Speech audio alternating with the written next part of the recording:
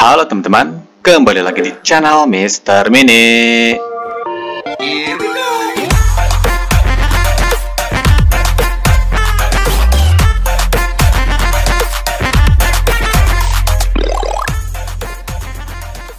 Oke, di video kali ini aku akan memberitahu kalian mengenai rune presisi. Karena rune presisi ini berbeda dari rune-rune lain, rune senjata, rune lanjutan, rune armor, beda ya. Bedanya seperti apa? Mungkin di kalian ada yang belum tahu, jadi buat yang belum tahu, boleh simak saja video ini. Karena video ini tidak akan lama. Ya tanpa lama-lama lagi, sebelum ke videonya, mungkin kalian bisa bantu dulu channel ini untuk berkembang dengan cara subscribe di channel ini supaya aktif terus, upload terus channel ini. Langsung saja kita ke videonya. Jadi buat kalian yang belum tahu, rune itu fungsinya untuk menambahkan efek kepada senjata seperti panah nih, bisa untuk armor, bisa untuk alat survival seperti kapak beliung dan lain-lain. Itu kegunaan untuk rune. Nah, ini adalah rune presisi. Rune presisi. Di sini aku cuma bawa satu, mungkin aku harus ke rumahku dulu. Nah, di sini aku mempunyai banyak sekali rune presisi. Tuh, mungkin ada 20 lebih di sini rune presisiku. Rune presisi ini beda ya dengan rune attack, rune defense, rune efficiency, apalagi dengan batu aktivasi universal. Jadi perbedaannya yaitu kalau rune presisi ini kita sudah diperlihatkan dengan atributnya. Lihat, rune presisi ini atributnya daya tahan 72%. Kalau yang bawahnya itu kecepatan menggali. Kalau yang ini serangan jarak dekat. Jadi untuk rune presisi ini sudah kita ketahui ya efeknya beda dengan rune-rune lain. Kalau rune attack ini efeknya belum kelihatan, harus diaktifasi dulu di meja rune. Itu perbedaannya. Dan untuk mendapatkan rune presisi ini, rune presisi ini biasanya di drop ketika kalian menggabungkan senjata, bukan didapat dari blok. Contohnya seperti ini nih.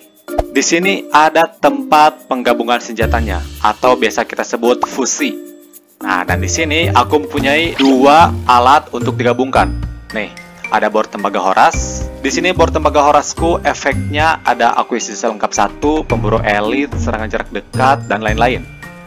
Begitupun dengan yang satunya, sama.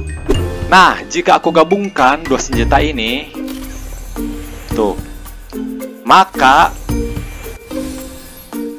Nah, maka alatnya akan tergabung dan rune presisinya akan drop. Tuh, kalian bisa lihat kan rune presisinya? Tuh, di sini aku langsung dapat banyak sekali rune presisi. Karena rune presisi ini adalah dropan dari efek alat tadi. Nih, alat dari bor tembaga.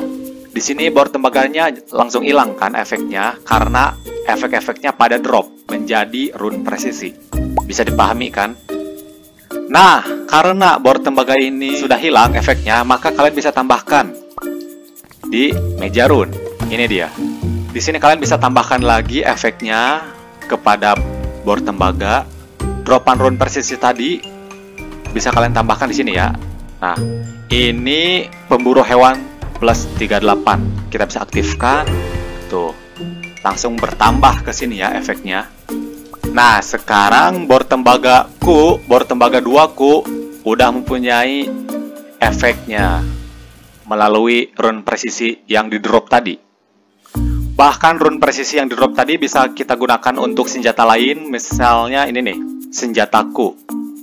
Tuh, bisa aku aktifkan untuk daya tahan, untuk pemburu hewan, dan lain-lain. Nah, di sini jika kalian menambahkan rune presisi kecepatan menggali 88% kepada bor tembaga yang tadi aku buat ditambah bahan sekunder. Di sini aku akan tambahkan bahan sekunder kristal penciptaan mungkin. Kita coba di sini. Tuh gantikan jika kalian udah tambahkan lagi efeknya kepada alat ya maka alatnya akan menjadi lebih bagus ya bisa untuk menyerang lebih sakit bisa untuk menggali lebih cepat dan lain-lain. Jadi itu penjelasan mengenai rune presisi. Oke teman-teman, mungkin itu aja penjelasan mengenai rune presisi sudah aku bilang dari awal video ini akan sebentar karena rune presisi hanya begitu aja ya penjelasannya. Semoga bisa membantu dan tidak membingungkan kalian lagi mengenai rune presisi.